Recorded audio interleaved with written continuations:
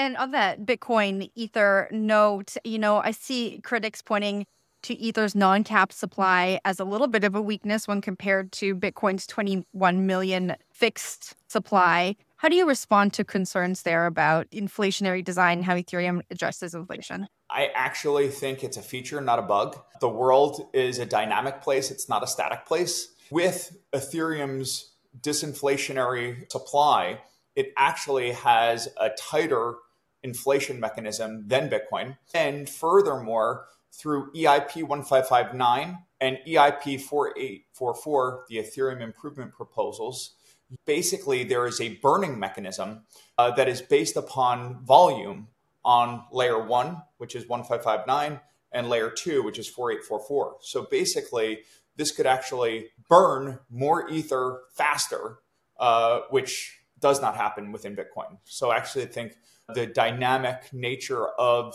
Ether's supply is, is a feature, not a bug.